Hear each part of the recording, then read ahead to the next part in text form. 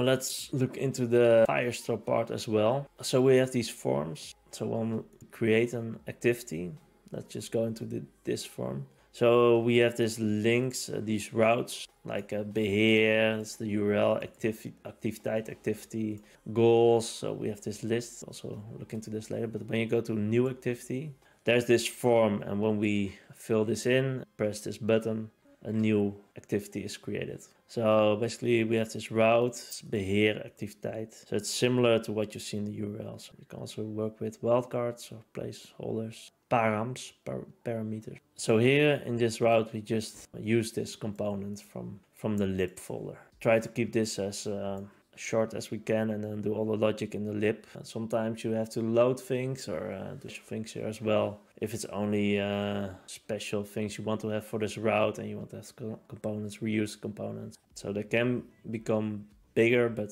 in general, I try to make them, uh, you can you can first put all the code in here, you can put it here and it works as well. But it's better, I think, to use these components so we can reuse them later. So with create activity component, what we do is we load this uh, Firebase store and we load it similarly as the authentication. So there's a function for it and it will get the app based on the config.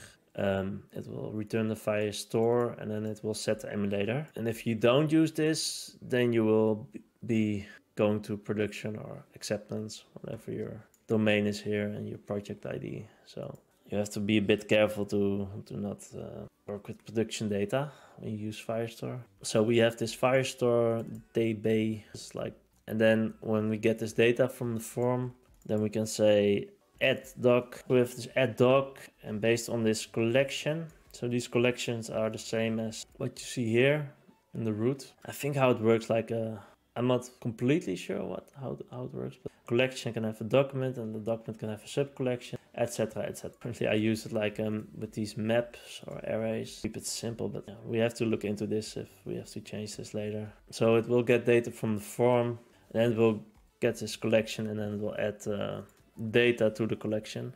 And Firestore is a NoSQL database, so there's no schema if we make a typo somewhere, then it be also with this typo in the in the database. And if we add stuff later, we can just add stuff here and add data, and it will be stored. Um, so there's no schema. That's good to know. And there's like a whole uh, no SQL issues you will get with this, but it's also very flexible. So the best way to to handle this is to be a bit defensive when you output it i think so if we like add a new feature here then we cannot guarantee these either have to refactor all the old data in the in the collections or we have to make like uh, if if the feature is enabled for this data then we show the feature and else we don't show it. But we probably only run into these issues when we're on production and we have active users. Then we have to be very careful about this but during development we can just assume uh, ignore this and uh, make sure everything works. And when we add production data in there, then we will have these problems. Yeah, so that's how you uh, add um, things to Firestore. And when you edit things, uh, let's first go to the route. There's this ID, and then index is it will show the doc, and wijzigen is will edit the doc. So you can get the document like this with a Firestore instance again, and then we say, hey, give me the reference of this ID params ID. This is the ID you see here and it's the same as you go to edit, then it's this ID and that's the same as the ID we see here. That's how it connects. So for the edit, we have this reference. Just again, the doc, with the doc function, you get a reference. And with this reference, you can get a snapshot. And if the snapshot exists, you can get the data. And you have to use this reference again to update it. So that's why we put it in here. And with the update doc, you can update this reference with new data. That's why we can edit things. Um, Okay, let's continue with, so we use functions and those are pretty awesome, I think. Because with the functions you get like an event-driven architecture system. We're not going into the SSR at the moment, how SvelteKit is deployed. It's quite complicated and we will work on this later because there are some bugs. So with these functions, you can listen to things. So here uh, we listen to when a goal is created or activity is created then we will do something. And how these functions work, they will run, every function will run on its own instance. So it looks like one big file, but there are actually like a lot of machines all over the place. And uh, every export function will be on a different machine. And this is very handy. We actually use this already. So if a document is created, every time it will run this function and it has this data from the basically the snapshot again. This has an ID, the object ID, we call it here. Maybe we should just call it ID, I don't know, object ID, but it's fine. I think I copy paste this from somewhere. Maybe we should make it ID. Mm. Then we can do something with this. Yeah, we can do anything with this. We can make some calculations. We can convert it. We can upload it to somewhere else. We can send an email. You name it. So it's very flexible things you can do here.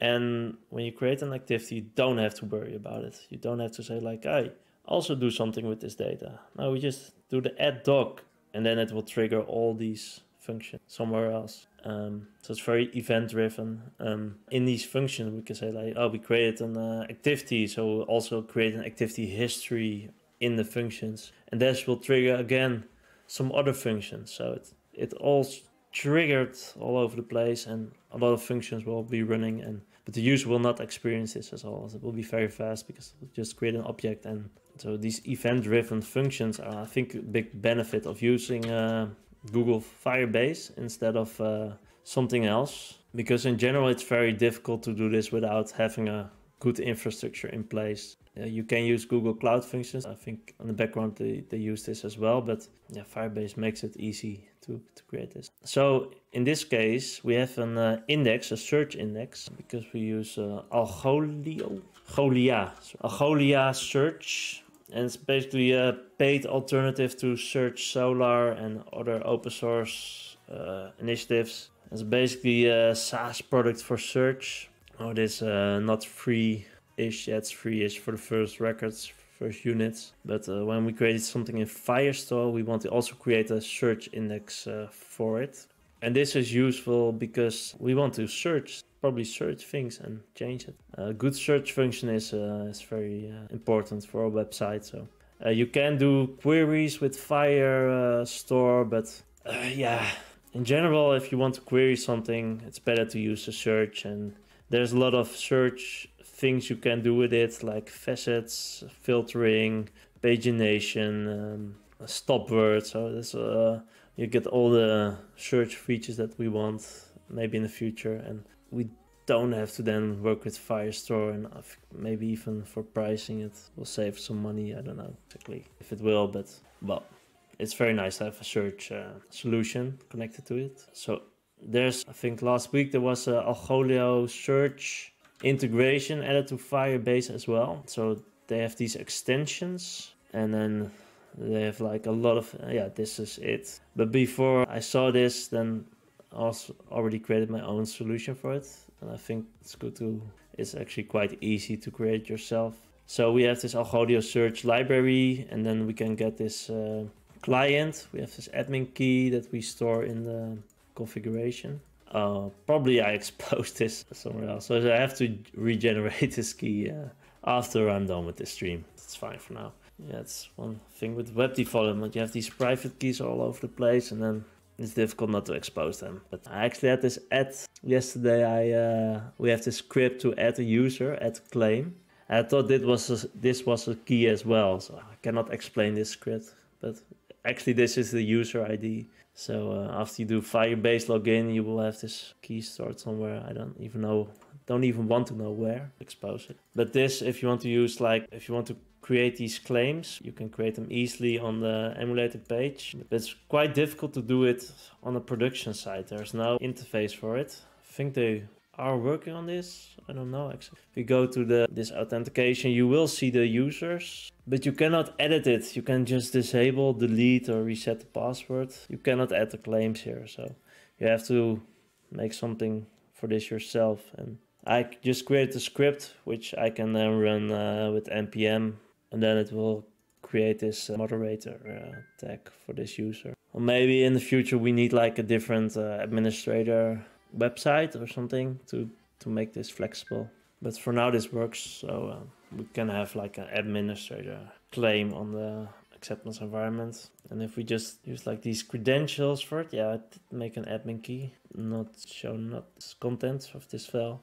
And then we can just do node and then it will run uh, correctly. But I do need to change the Algolia uh, key. Okay, um, I will do that. So in the functions, uh, so here we can just say uh, with the index, do some Algolia logic and get the client and then we can use the index and put data in there. So if we now create an activity, test the Algolia index and create it, hey, triggered. Then it first is in the Firestore.